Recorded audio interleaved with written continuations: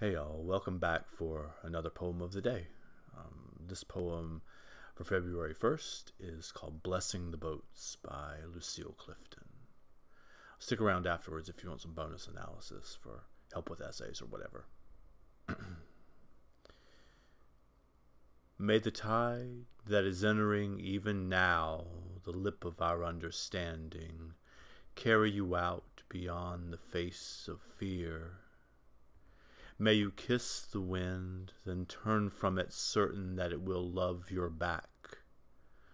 May you open your eyes to water, water waving forever, and may you, in your innocence, sail through this to that.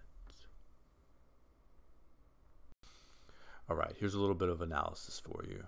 Um, I don't want to belabor this one too much because while the craft in it is extraordinary, and there's so so so much going on um, as far as craft and as skill for constructing this. Um, I also think it's just a poem that I love to just sit with and um, excuse the pun, but let it wash over me. So um, she's got a couple metaphors, obviously, that she's working with here. There, she's working with the tide and the ocean, um, and she's working with um, the fa- a face to and a human body, right? It has she has a lip and the face of fear, and you're kissing the wind. Um, I love this phrase right here. Um, let me turn the pen on. Here we go. To love your back. Um, it's it's a pun on the may the wind love you back. Like um, may you pass set out your love and may it love you back.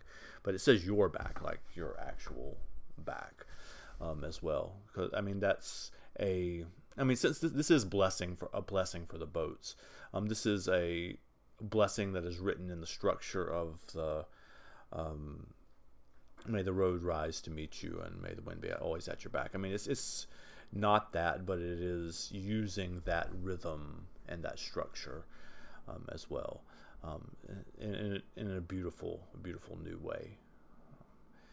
So it's it's also does um, I don't know. There's there's so much I could say about this, and I don't want to get into it too much. Um, but it's uh, it's both a prayer, a blessing for the boats themselves, and obviously for the people on them. May you, may you in your innocence sail through this to that. That could be referring to the boat, like the physical vessel itself, or it could be referring to the person in it too. Um, and even even the structure of the poem over here like is almost like it's going in and out right? Like the tide tide goes in and out the waves coming in and coming out. Um, there's there's so much and it's so beautiful and um, I'm not going to belabor it anymore. So hope you enjoyed. Uh, hope that helps with essays. Um, ask questions in the comments if you have more more to say about it. But other than that take care of yourselves um, during the pandemic at least wash your hands a lot and wear masks outside and I will see you next time.